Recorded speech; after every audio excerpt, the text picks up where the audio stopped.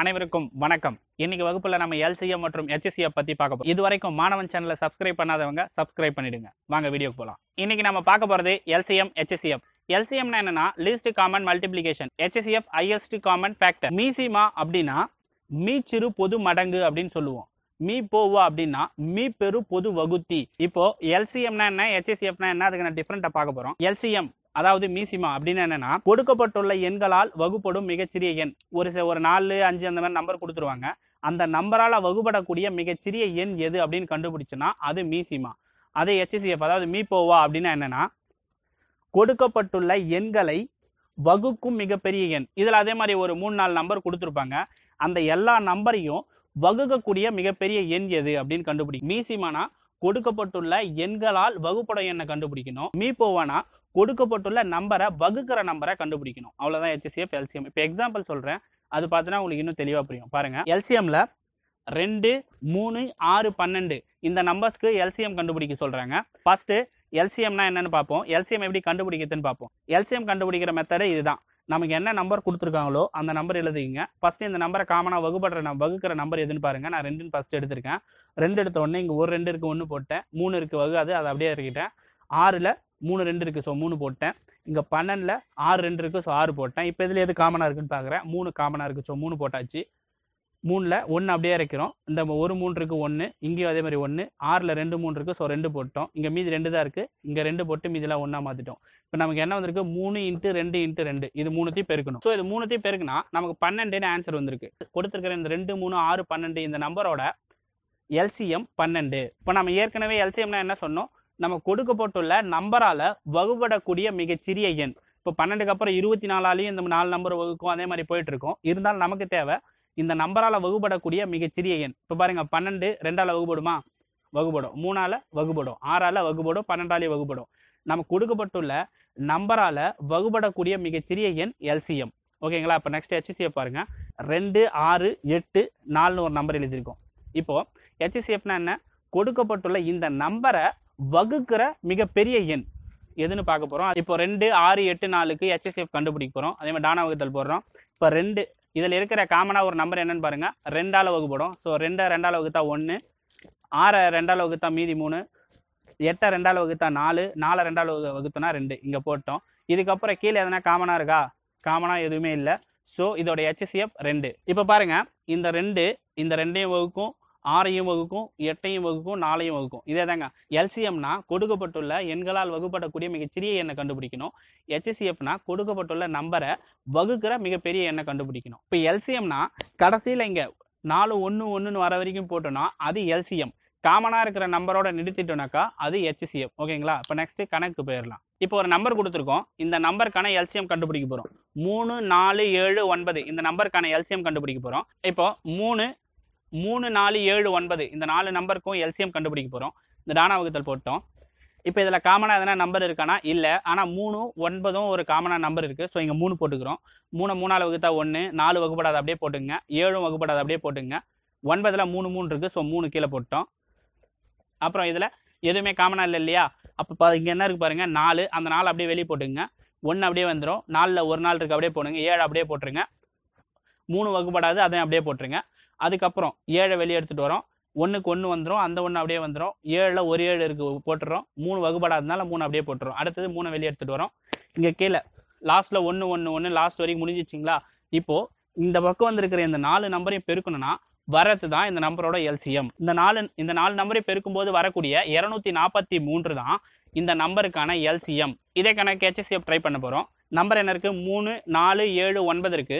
இதுல காமனான நம்பர் எதனா இருக்கா? நமக்கு கொடுக்கப்பட்டுள்ள எண்கள்ல ஏதாவது ஒரு எண் பிரைம் நம்பரா அதாவது பகா எண்ணா இருந்தா அதுக்கான ஹெச்எஸ்எஃப் ஒன்னா இருக்கும். இல்ல அதே பகா எண்ணா மட்டும்தான் இருக்கும். இப்போ நமக்கு இங்க ஏழு பகா எண்ணா இருக்கு. ஸோ இதுக்கான ஹெச்எஸ்எஃப் என்ன வரும்? ஒன்று வரும். ஏன்னா இந்த நாலு நம்பர் காமனா எந்த வேல்யூ இல்லை இல்லைங்களா? எதுவுமே இல்லைன்னா இது எல்லாத்தையும் வகுக்கக்கூடிய ஒரே நம்பர் ஒன்று ஸோ இந்த நம்பர்ஸோட ஹெச்எஸ்எஃப் ஒன்று கொடுக்கப்பட்டுள்ள இந்த நம்பரோட ஹெச்எஸ்எஃப் ஒன்று எல்சிஎம் இரநூத்தி நாற்பத்தி மூணு. இப்போ இன்னொரு எக்ஸாம்பிள் நூற்றி எட்டு இரநூத்தி எண்பத்தி எட்டு முந்நூற்றி அறுபதுன்னு இப்படி மூணு நம்பர் கொடுத்துருக்காங்க. இதுக்கான ஹெச்எஸ்சிஎஃப் கண்டுபிடிக்க சொல்கிறாங்க பாருங்கள் இப்போ இதில் எந்த நம்பர் காமனாக இருக்குது அப்படின்னு பார்க்க போகிறோம் ஏற்கனவே நம்பர் சிஸ்டத்தில் பார்த்த ட்ரிக்கை யூஸ் பண்ண போகிறோம் நம்பர் சிஸ்டம் வீடியோவை பார்க்காதவங்க மீண்டும் ஒரு முறை போய் பார்த்துட்டு வந்துருங்க. இது ரொம்ப யூஸ்ஃபுல்லாக இருக்கும். இப்போ பாருங்கள் இதுக்கு நான் ரெண்டு காமனாக இருக்கும் எடுத்துக்கிறேன். ஏன்னா லாஸ்ட் டிஜிட் ரெண்டு ஜீரோ எட்டு அந்த மாதிரி முடிஞ்சால் அந்த நம்பர் ரெண்டால வகுப்படும் போடுங்க பாருங்கள் ஜீரோ எட்டு எட்டு இருக்குது ஸோ இந்த நம்பர் ரெண்டால வகுப்படும் ஸோ நான் ரெண்டு எடுத்துக்கிறேன். இது ரெண்டால நூற்றி எட்டு ரெண்டால் வகுத்தா ஐம்பத்தி நாலு. இரநூத்தி எண்பத்தி எட்டு ரெண்டால வகுத்தா நூற்றி நாற்பத்தி நாலு. முந்நூற்றறுபது அறுபது ரெண்டால வகுத்தனா நூற்றி எண்பது. திரும்பவும் இதில் எது காமனாக இருக்குன்னா ரெண்டு காமனாக இருக்குது ஸோ திரும்பவும் ரெண்டு எடுத்துக்கிறோம். இப்போ ஐம்பத்தி நாலில் ரெண்டாவது வகுத்தா இருபத்தி ஏழு நூற்றி நாற்பத்தி நாலு ரெண்டாவது வகுத்தா எழுபத்தி ரெண்டு நூற்றி எண்பது ரெண்டாவது வகுத்தனா தொண்ணூறு. இதுக்கப்புறம் இதில் காமனாக இருக்கிற நம்பர் மூணு. இப்போ போட்டோம். இதுக்கப்புறம் கடைசியாக மூணு எட்டு பத்துன்னு வந்திருக்கு. இது காமனாக எதனா நம்பர் இருக்கா? கிடையாது. இங்கே மூணு இருக்குது எட்டு மூணால் வகுப்படாது. ஸோ பத்து மூணால் வகுப்படாது. இந்த மூணு நம்பருக்கும் காமனாக எது நம்பரும் கிடையாது. எது வரைக்கும் காமனாக வருதோ அதோட நிறுத்திடணும். இது வரைக்கும் காமனாக வருதுங்களா? ஸோ இதை மட்டும் பேருக்குங்க. ரெண்டு ரெண்டு ரெண்டு நாலு. நாமூன் பன்னெண்டு பன் மூ பன்னெண்டு முப்பத்தி ஆறு. ஸோ கொடுக்கப்பட்டுள்ள இந்த நம்பரோட HCF முப்பத்தி ஆறு. ஸோ இதுக்கும் எல்சிஎம் கண்டுபிடிக்கலாம் பாருங்க. இது வரைக்கும் காமனாக வந்தது. இதை மட்டும் பெருக்கி முப்பத்தாறு HCFனு கண்டுபிடிச்சிட்டோம். எல்சிஎம்னா கடைசி வரைக்கும் ஒன்று வரணும் இல்லைங்களா? ஸோ அதுக்கப்புறம் நம்ம டெவலப் பண்ணியிருக்கோம் பாருங்க. இப்போ இருக்கிறத பெருக்குங்க.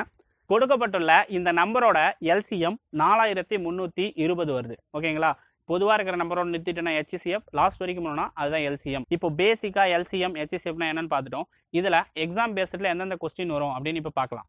இப்போ எக்ஸாம் பாயிண்ட் ஆஃப் வியூவில் என்னென்ன கொஸ்டின் வரும் அப்படிங்கிறத பார்க்க போகிறோம் நான் ஏற்கனவே எடுத்து சால்வ் பண்ணியிருக்கிற இந்த கொஸ்டின்லாம் ஏற்கனவே எக்ஸாமில் கேட்ட கொஸ்டின் தான். இங்கே பாருங்கள் இந்த மாதிரி ஸ்கொயர் கியூப்ல கொடுத்துருக்காங்க இல்லைங்களா? இந்த நம்பர் நம்ம நார்மலாக நம்பர் கொடுக்கும்போது எல்சிஎம் ஹெச்எஸ்எஃப் எப்படி கண்டுபிடிக்கிறோன்னா டானா வகுத்தல் போட்டு ஈஸியாக கண்டுபிடிச்சிடுறோம். இப்போ இந்த நம்பர்ஸ்க்கு இந்த மூணு நம்பர் கொடுத்துருக்காங்க. சிங்கிள் சிங்கிளாக நம்பர் இருந்தால் அதை நம்ம ஈஸியாக டானா வகுத்தல் போட்டு எல்சிஎம் HCF கண்டுபிடிச்சிடலாம். இங்கே ஸ்கொயர்லையும் கியூப்லையும் இருக்குது இது எப்படி கண்டுபிடிக்க போகிறோம் அப்படின்னா பாருங்கள் இப்போ நாம HCF எழுத போகிறோம் இந்த மூணு நம்பர்லையும் காமனாக இருக்கிற நம்பர் என்னன்னு பாருங்கள் இங்கே ரெண்டு காமனாக இருக்கா? ஸோ ரெண்டு எழுதுங்க.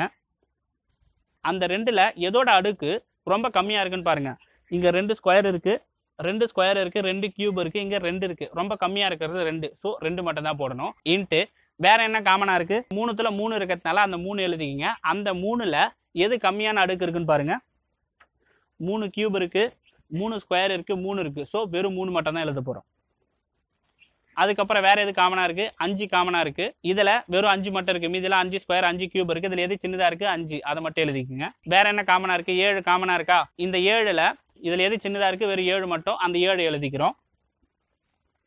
அடுத்து வேற என்ன நம்பர் இருக்குது பதினொன்று இருக்குது இந்த பதினொன்னுங்கிற நம்பர் மூணில் மட்டும்தான் இருக்குது ஹெச்சிசிஎஃப்னா என்னென்னா என்னன்னா பொதுவாக இருக்கணும். ஓகேங்களா இப்போ இதில் வந்து பதினொன்னுங்கிறது ஒன்றுத்தில் மட்டும் இருக்கிறதுனால பதினொன்று எதுவும் பண்ண தேவையில்ல. அதை அப்படியே விட்டுருங்க. இப்போ இப்போ மூணுத்துலேயும் பொதுவாக இருக்கிற நம்பரில் எது சின்ன நம்பராக இருக்கோ அதை மட்டும் எடுத்து எழுதிடும் ஓகேங்களா எக்ஸாமில் ஒன்று இந்த மாதிரி ஆன்சர் கொடுப்பாங்க. அப்படி இல்லைன்னா இதை சுருக்கி ஆன்சர் கொடுப்பாங்க. இப்போ இந்த நம்பர் வந்திருக்கீங்க இல்லையா? இந்த நம்பரை பெருக்கி போட்டிங்கன்னா என்ன நம்பர் வருதோ அதுதான் இந்த நம்பரோட ஹெச்சிஎஃப் இல்லை ஒரு சில இடத்துல இப்படியே விட்டுருவாங்க. இப்படியே விட்டுட்டாக்கா இதுதான் ஆன்சர் ஓகேங்களா? இந்த நம்பரோட ஹெச்சிஎஃப் இரநூத்தி பத்து. அப்படி இல்லைன்னா இந்த நம்பர் அப்படியே வச்சுக்கலாம். நமக்கு கொஸ்டின்ல எந்த மாதிரி ஆன்சர் கொடுக்குறாங்களோ அந்த மாதிரி யூஸ் பண்ணிக்கோங்க. இதோட நிறுத்திட்டாங்கன்னா இதோட நிறுத்துருங்க. இரநூத்தி பத்து வரைக்கும் போயிருந்தாங்கன்னா இதை சுருக்கி போடுங்க. இது ஹெச்சிஎஃப் நெக்ஸ்ட் எல்சிஎம் எல்சிஎம் அதே மாதிரி தான் இதில் காமனாக இருக்கிற நம்பர் மட்டும் எழுதுனீங்க இல்லைங்களா? காமனாக இருக்கிற நம்பரில் சின்ன நம்பர் எழுதணும். அதில் பெரிய நம்பர் எழுத போகிறோம் ரெண்டு காமனாக இருக்குது அந்த ரெண்டில் பெருசு எது இருக்குது ரெண்டு கியூப் இருக்கா? பெருசாக இருக்கிற ரெண்டு கியூப் எழுதிட்டோம். மூணில் அதே மாதிரி மூணு கியூப் இருக்கு. மூணு கியூப் எழுதுறோம். அஞ்சுல அஞ்சு கியூப் இருக்கு. அஞ்சு கியூப் எழுதுறோம். ஏழுல ஏழு பவர் நாலு இருக்கு. ஸோ ஏழு பவர் நாலு. இப்போ எல்லா நம்பர்லயும் காமனா இருக்கிறத எழுதிட்டோமா? இதுக்கப்புறம் வேற என்ன இருக்கு? பதினொன்று இருக்கு. ஹெச்சிஎஃப்ல காமனா இருக்கிற நம்பர் மட்டும் தான் எழுதணும். அதுலயும் சின்ன நம்பர் மட்டும் தான் எழுதணும். அதோட அதை முடிச்சிடணும். எல்சிஎம்ல காமனா இருக்கிற நம்பரை எழுதிட்டு மீதி எந்த நம்பரெல்லாம் விடுபட்டு போயிருக்கோ ரெண்டுத்தில் மட்டும் காமனா இருக்கோ இல்லை ஒன்றுத்தில் மட்டும் இருக்கோ அந்த நம்பரை எழுதணும். இப்போ இங்கே பதினொன்னுங்கிறது ஒன்றுத்தில் இருக்கா? ஸோ அந்த பதினொன்று எழுதிக்கிங்க. இப்போ இந்த நம்பரோட எல்சிஎம் இதுதான். இதை பெருக்கி போட்டிங்கன்னா ஒரு நம்பர் வரும். அதுதான் எல்சிஎம் ஓகேங்களா பெருக்கி பார்த்துக்கோங்க. ஒருவேளை நம்ம கொடுத்துருக்கிற ஆன்சர் இதோட நிற்கிது அப்படின்னா இதோட நிறுத்திடுங்க. இதை விட சுருக்கி போட்டிருக்காங்கன்னா பெருக்கி போட்டுக்கோங்க. ஓகேங்களா இந்த மாதிரி கொஸ்டின்ஸை பழைய கொஸ்டின் பேப்பர்ஸ்லேருந்து எடுத்து சால்வ் பண்ணி பாருங்கள் நீங்களே ஒரு சில கொஸ்டின்ஸை கிரியேட் பண்ணி சால்வ் பண்ணி பாருங்க. அடுத்தது ரெண்டாவது ஒரு மெத்தட் போகிறோம் இப்போ இது எப்படி இருக்கு பாருங்க. பின்னத்தில் இருக்கு. நமக்கு நார்மலாக ஒரு நம்பர் இருந்துச்சுன்னா அது எல்சிஎம் எஸ்சிஎஃப் கண்டுபிடிச்சிருவோம். இப்போ பின்னத்தில் இருக்கிற நம்பருக்கு எப்படி எல்சிஎம் ஹெச்சிசிஎஃப் கண்டுபிடிக்க போகிறோம் அப்படின்னு பார்க்க போகிறோம் ஃபஸ்ட்டு நமக்கு என்ன பாருங்க நமக்கு கேட்கறது ஹெச்எஸ்சிஎஃப் கேட்குறாங்க அப்படின்னா மேலே இருக்கிற நம்பருக்கு ஹெச்எஸ்சிஎஃப்பும் கீழே இருக்கிற நம்பர்ஸ்க்கு எல்சிஎம்மும் கண்டுபிடிக்கணும். ஒருவேளை நமக்கு எல்சிஎம் கேட்டாங்கன்னா மேலே இருக்கிற நம்பருக்கு எல்சிஎம் கீழே இருக்கிற நம்பருக்கு ஹெச்எஸ்சிஎஃப் கண்டுபிடிக்கணும். எதை கண்டுபிடிக்க சொல்கிறாங்களோ அதை மேலே வச்சுக்கோங்க. இன்னொன்றத்தை கீழே வச்சுக்கோங்க. அவ்வளோதான் சிம்பிள் கான்செப்ட் ஓகேங்களா நெக்ஸ்ட் போலாமா? இந்த நம்பருக்கு ஹெச்சிஎஃப் கண்டுபிடிக்க போறோம். ஹெச்சிஎஃப்க்கு என்ன சொன்னோம்? மேலே இருக்கிற நம்பருக்கு ஹெச்சிஎஃப் கீழே இருக்கிற நம்பருக்கு எல்சிஎம் மேலே என்னென்ன நம்பர் இருக்கோ அது ஹெச்சிஎஃப் கண்டுபிடிங்க. மேலே என்ன ரெண்டு எட்டு பதினாறு பத்து நம்பர் இருக்கா? இதுக்கு ஹெச்சிஎஃப் கண்டுபிடிக்க போகிறோம் பாருங்க. மே மேலே இருக்கிற ரெண்டு எட்டு பதினாறு பத்துங்கிற நம்பருக்கு ஹெச்சிஎஃப் கண்டுபிடிக்கிறோம். அதுக்கு ஹெச்சிஎஃப் கண்டுபிடிச்சா நமக்கு ரெண்டுன்னு வந்திருக்கு. ஸோ ரெண்டு போடுறோம். மேலே ரெண்டு போட்டோம். கீழே அந்த கீழே இருக்கிற நம்பரோட எல்சிஎம் மூணு ஒன்பது எண்பத்தொன்று இருபத்தி ஏழு இந்த கீழே இருக்கிற நம்பருக்கு எல்சிஎம் கண்டுபிடிக்க போகிறோம் எல்சிஎம் கண்டுபிடிச்சா நமக்கு எண்பத்தி ஒன்று வந்திருக்கு. ஸோ கீழே எண்பத்தி ஒன்று போட்டுருங்க. ஸோ இந்த நம்பர் அடிக்க முடியாது. ஸோ கொடுத்துருக்கிற இந்த நம்பரோட ஹெச்சிசிஎஃப் ரெண்டு பை எண்பத்தி ஒன்று புரியுதுங்களா? அதாவது ஹெச்சிசிஎஃப் கேட்டாங்கன்னா இந்த பின்னத்தில் இருக்கிற மேலே இருக்கிற நம்பர்ஸ்க்கு ஹெச்சிசிஎஃப்பும் கீழே இருக்கிற நம்பருக்கு எல்சிஎம்மும் கண்டுபிடிக்கணும். ஓகேங்களா? இப்போ இதே நம்பர்ஸ்க்கு எல்சிஎம் கண்டுபிடிக்க போகிறோம் எல்சிஎம்க்கு என்ன சொன்னோம்? மேலே இருக்கிற நம்பர்ஸ்க்கு எல்சிஎம்மும் கீழே இருக்கிற நம்பருக்கு ஹெச்சிசிஎஃப் கண்டுபிடிக்கணும்னு சொன்னோமா? மேலே என்னென்ன இருக்குது ரெண்டு எட்டு பதினாறு பத்து இருக்குது இது எல்சிஎம்மும் கீழே இருக்கிற நம்பர்ஸ்க்கு ஹெச்சிசிஎஃப்பும் கண்டுபிடிக்கணும். ஸோ பாருங்க பாருங்க. மேலே இருக்கிற நம்பருக்கு எல்சிஎம் கண்டுபிடிக்கணும். எல்சிஎம் கண்டுபிடிச்சா எல்சிஎம் எண்பதுன்னு வந்திருக்கு. ஸோ இங்கே எண்பதுன்னு மேலே போட்டுக்கிறேன். இப்போ கீழே என்ன பண்ணணும்? கீழே இருக்கிற நம்பருக்கு ஹெச்சிஎஃப் கண்டுபிடிச்சி அதை எடுத்து எழுதணும். ஓகேங்களா? கீழே இருக்கிற நம்பருக்கு ஹெச்சிஎஃப் போட்டிருக்கோம். ஹெச்சிஎஃப் மூணுன்னு வந்திருக்கு. ஸோ அந்த இடத்துல மூணுன்னு போடுறோம். இப்போ இந்த நம்பரோட எல்சிஎம் எண்பது பை மூணு. புரியுதுங்களா?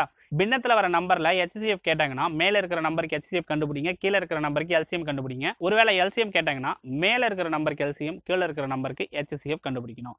ஓகேங்களா? இந்த வீடியோ பிடிச்சிருந்தா லைக் பண்ணுங்கள் கமெண்ட் பண்ணுங்கள் இந்த வீடியோ உங்க ஃப்ரெண்ட்ஸுக்கு ஷேர் பண்ணுங்க. மறக்காம மாணவன் யூடியூப் சேனலை சப்ஸ்கிரைப் பண்ணுங்க. நன்றி மகிழ்ச்சிங்கிற இந்த ரெண்டு நம்பர் இருக்கு இல்லைங்களா?